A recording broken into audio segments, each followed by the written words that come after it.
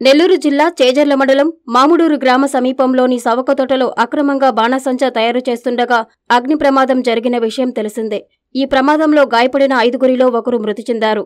గాయపడిన ఐదుగురు కూలీల్లో ఇద్దరు ఆత్మకూరు ప్రైవేట్ వైద్యశాలలో చికిత్స పొందుతుండగా మరో ముగ్గురు నెల్లూరులోని నారాయణ వైద్యశాలలో చికిత్స పొందుతున్నారు.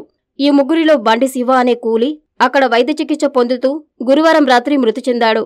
ఇదే వైద్యశాలలో చికిత్స పొందుతున్న రమేష్ సుబ్రహ్మణ్యం అలియాస్ మణిల పరిస్థితి కూడా విషమంగానే ఉన్నట్లు సమాచారం. ఈ సవక తోటలో అధికార పార్టీకి చెందిన ఓ వ్యక్తి అక్రమంగా ఎలాంటి అనుమతులు లేకుండా టపాసులు తయారు చేస్తున్నట్లు సమాచారం. ఘటన జరిగి సుమారు వారం రోజులు అవుతున్నా నిందితులను అరెస్టు చేయడంలో పోలీసులు విఫలమయ్యారనే ఆరోపణలు వినిపిస్తున్నాయి. నిందితుడు జయంత్ రెడ్డి తన సొంత గ్రామంలో రోజు తలదాచుకుంటున్నట్లు తెలుస్తోంది. ఈ విషయం పోలీసులకు తెలిసినా చూసి చూడనట్లు వ్యవహరిస్తున్నారనే ఆరోపణలు వెల్లువెత్తుతున్నాయి.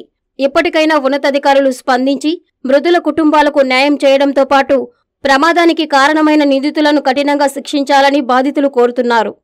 Doctor Ramaswamy super speciality hospitals కావలిపట్టణ మరియు పరిసర ప్రాంత ప్రజలకు శుభవార్త. Doctor M Ramaswamy trauma spine కీళ్ళ మార్పిడి స్పెషలిస్ట్. మోకాళ్ళ మార్పిడి తుంటి మార్పిడి ఆపరేషన్లు చేయబడును. విరిగిన ఎముకలకు వెన్నుపూస ఆపరేషన్లు అత్యాధునిక పద్ధతుల ద్వారా చేయబడును. Doctor P. పుష్పిక గుండె ఊపిరితిత్తులు షుగర్ అండ్ రుమటాలజీ వ్యాధుల వైద్య నిపుణులు. Doctor T. Sudeep Yadav general మరియు ఎండోస్కోపీ అండ్ లాప్రోస్కోపిక్ సర్జరీ నిపుణులు.